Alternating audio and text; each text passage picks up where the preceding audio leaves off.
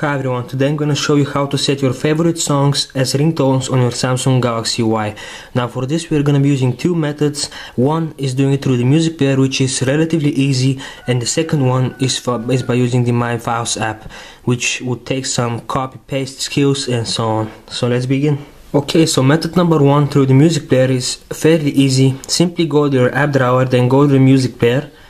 Choose the song which you want to set as a ringtone and you notice when you won't press the song from the music player you do not get this option from the My Files app but you get it from the music player. As you can see here it says set as ringtone. Now from here you can just choose this and you set the song as a ringtone. Simple as that and you are done. And another way would be to play the song tap on the options menu here the button and just choose set as a ringtone again. And you set the song as a ringtone. That is method number one so method number two requires you to do this from the settings. Again, go to your app drawer, then go to settings. Scroll down a bit until you see sound. Go here and now as you can see here, we have an option phone ringtone and notification ringtone. We're gonna cover the notification part a little bit later.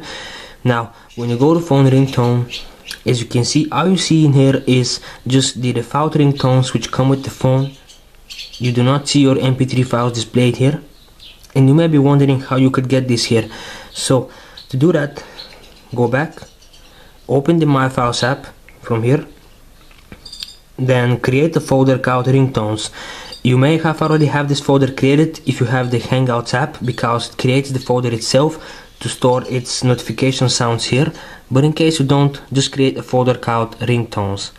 So once you create the folder you can then simply transfer all your mp3 files in there and you have them accessible from the settings. So for instance I'm gonna choose a song from here which I'm gonna put into my ringtones folder. For example this one. I'm gonna paste it now.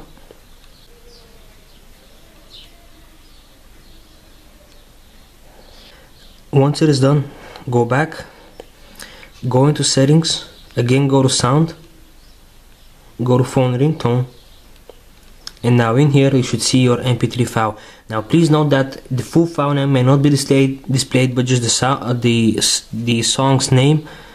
So you need to look carefully. Okay so this is the song's name improvised tech radio mix. You can also preview it just to be sure that it's the same ringtone you're looking for. Then just tap on ok and your ringtone has been set.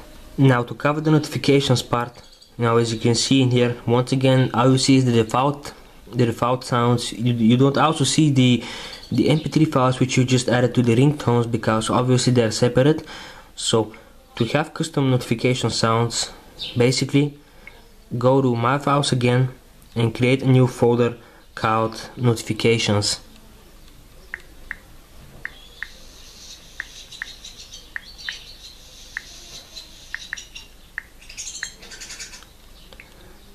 Now once you create this folder, you're then free to move all of your mp3 files, all your sounds or whatever, you could, they could be WAV files and so on.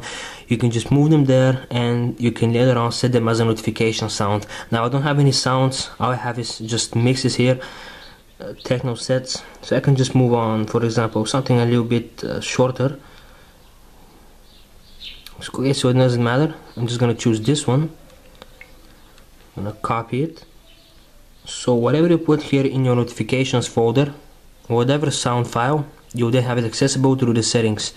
Now once the file is here go back go to settings go to sound go to notification ringtone scroll down and there you have it. This is the song name the song which I just transferred to notification. So like I said whatever sound file we put in there it should appear here there we go. This is the same sound file which I just pasted there. And as you can see I just set myself a phone ringtone and notification ringtone. So that is how you set ringtones for Samsung Galaxy Y. This could also work for any gingerbread devices. So yeah thank you for watching and goodbye